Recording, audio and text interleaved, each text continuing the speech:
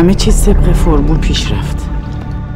آماده است. همین که بغلت کردم انگار همه چی تموم شد. قشنگ معلومه داره بازیت میده. آخه تو چرا باید بازی چه این بشی؟ چجوری رفتار کردم که اینو فکر می‌کنم خیلی ذهنتر از من می‌تونم باشم ببین از استانبول جمع نخور دارم میام اینجا مهمونی تو اینجا چیکار می‌کنی؟ ملکی که دنبالش میگردی مادر.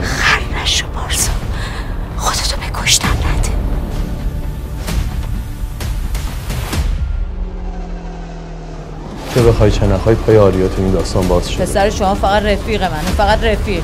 افرا خیلی نامردی افرا خیلی بیمرد. من دارم سر جونم قمار می‌کنم مهناز. ملکه بفهمه زندم نمی‌ذاره. آدم اصلا چطور می‌تونه انقدر راحت بی خیال عشقش بشه آریا گفتم بلد نیستم کسی رو دوست داشته باشم افتادی وسط یه رقابت بزرگ بین شاه و ملکه. احتمالا همه چیز زیر سر بهترین راه حل رو دارم. خط قرمز رو خودم رد